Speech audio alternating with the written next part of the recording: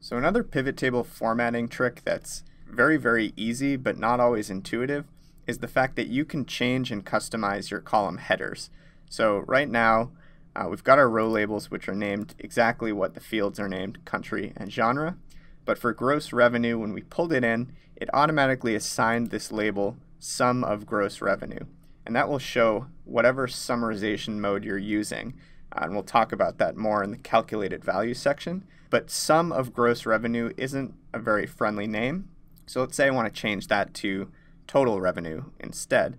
All I need to do is select that header label and go up in the formula bar and just type in the new name right there. And it just changes the column header to whatever I choose. The one thing I will point out here is that if I wanted to name this gross revenue, which is the name of the raw data column, I'm going to get this error that says the pivot table field name already exists. So a little workaround here, if I just add a space at the end, Excel will treat that as a totally separate value and allow me to drop that in. So little tip there, uh, sometimes you want to use more friendly or more intuitive names for your columns. That's how you do it.